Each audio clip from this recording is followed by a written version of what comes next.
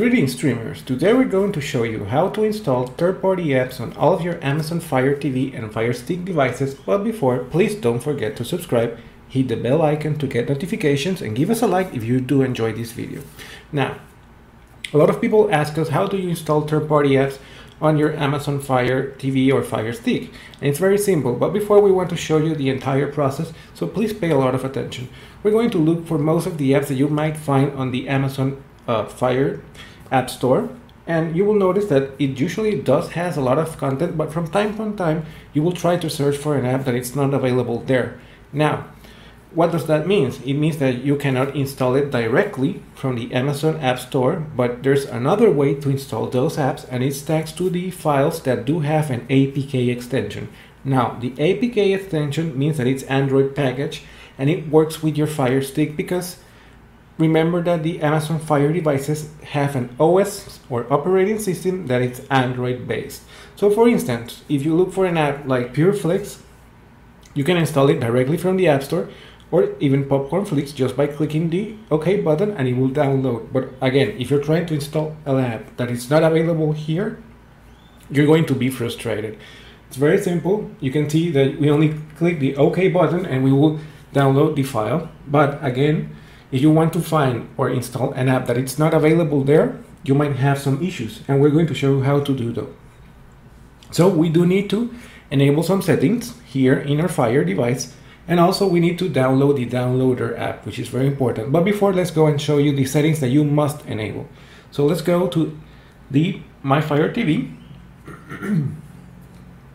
and here it says developer options you click OK and you need to enable both ADB debugging and apps from unknown sources. Because remember if the app is not available on the App Store and you try to install an APK file uh, if it's not enabled the system will not allow you to install it. Basically because it will assume that it's either a virus or it's an unauthorized application. So you do need to enable these settings. Now remember that it's very important now we're going to use the downloader app, which luckily you can find in the official Amazon App Store and you can download it directly with no issues at all. Make sure that you download the latest version, it's very important. And we're going to download it, but we already have it, so we're going just to show you that it's very simple and easy to use. Now, when we do access to the downloader, pay a lot of attention to the, the steps that we will be showing on the screen. So, we're going to access the downloader app, which we already have. And if you don't, you can download it. And we're going to use the browser extension. So let's hit OK. And just hit OK. It's just telling us that we can actually type in a direct URL.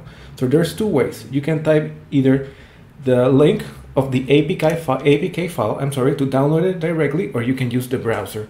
Some sites do have, for instance, uh, the APKs installed in the browsers, or in their website. So you will use the browser to go through the website and download the APK.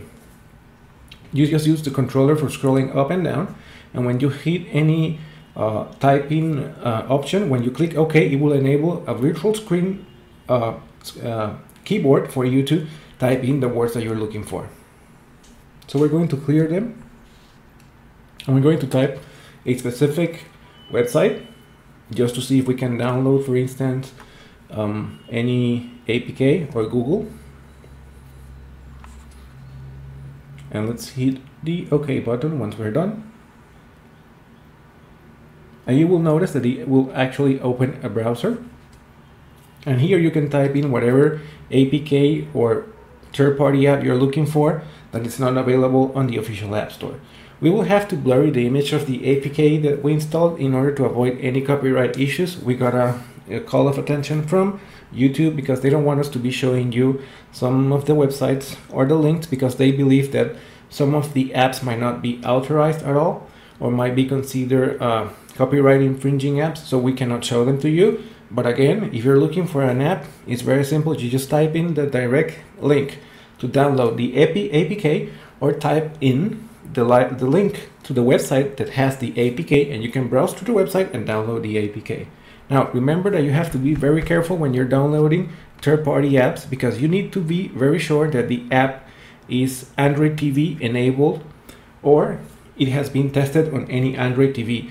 It's not the same when you download an APK that it's only available for Android devices because Android TV doesn't work the same way as Android devices and you might end up corrupting your Amazon Fire Stick or your Fire TV operating system and it will be a very bad situation. So always double check that you have the latest version of the Amazon OS and also make sure that it is compatible with the APK that you will be installing for the third-party app. You don't want to damage your Amazon Fire Stick. So remember this please and if you do so, and you follow this video, it's at your own risk. We're not responsible for any damages that occur on your devices if you're not following the instructions or doing something else. So it's up to you. This is free of responsibility for us. So if you're watching this video, you're accepting it and you're following the procedures at your own risk. So again, we're typing an address that we know has the link to the APK that we want to install and we will download it and show you how it runs very easily. So we wait a few seconds once we finish typing in the address and we will download the APK and as you can see it's already connecting and it's downloading the APK. Once it finished downloading we will install it but we will also bury the image because again for copyright issues we cannot show you what we're doing. Uh, we don't want more trouble with Amazon or I'm sorry with uh, YouTube because they don't like us to showing this type of stuff but again you're doing it at your own risk.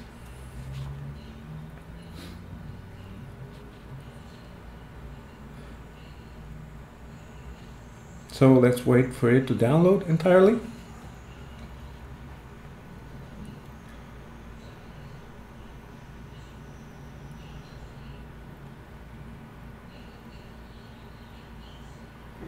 And once it is downloaded, uh, please remember to delete the install file because if you do not delete it, you will be actually occupying some of the storage space on your Fire Stick or Fire device, which is very limited. So make sure that once you install the app, you delete the file. That's very important. A lot of people do not delete them and they actually run out of space very quickly on their Amazon Fire devices. So once it's done, we have to bury it so you do not see it. So just hit next and all the way down there, install.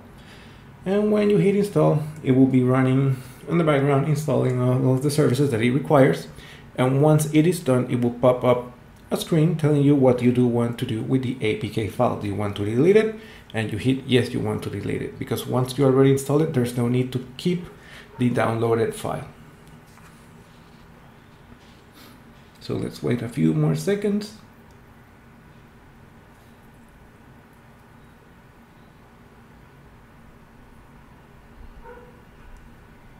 And once it's done, it will let us know.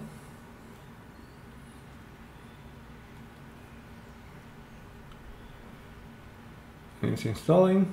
You should find something in the middle of the screen once it's finished, which we hope it will be soon. And when it is done, I will show you how to delete the file. And this is very important. As you can see, we just hit the done because it told us already that it installed the app. Don't hit the open, hit done. And now it's asking us whether we want to delete it. Hit delete, do not hit done in this occasion. Delete the file and that will be all. You just save some space on your Fire TV or Fire Stick. So this is how you install third-party apps. Again, you're doing it on your own risk Remember to verify the OS and if the app that you're downloaded is Android compatible, Android TV specifically compatible, because otherwise you might have some issues with it running on the device. Again, don't forget to enable these settings here for installs, the downloaded folder and also the JavaScript so that some of the websites can run better on your browser on this downloader app. Thanks for watching. Again, please don't forget to subscribe, hit the bell icon to get notifications and give us a like. Goodbye.